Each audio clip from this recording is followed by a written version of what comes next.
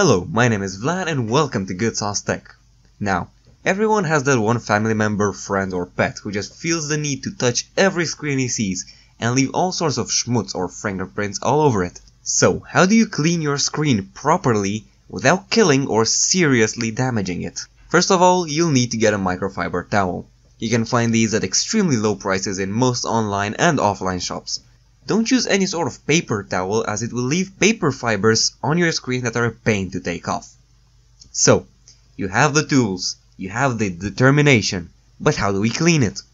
Here's what you shouldn't do.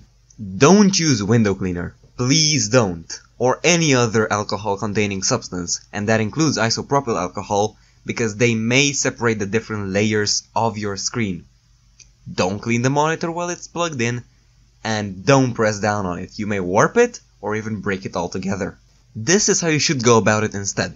First, unplug it from any power source and get your clean microfiber cloth. Start cleaning it in smooth motions, not circular ones, and without applying too much force. If the dirt doesn't just rub off that easily, use the tiniest amount of water to make the cloth slightly wet, and it should do the trick. After you've done this, give it plenty of time to dry before plugging it back in.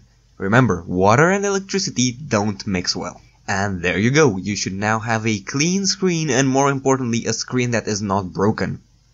I hope you learned something and if you enjoyed the video make sure to like and subscribe. This has been Vlad and thanks for watching.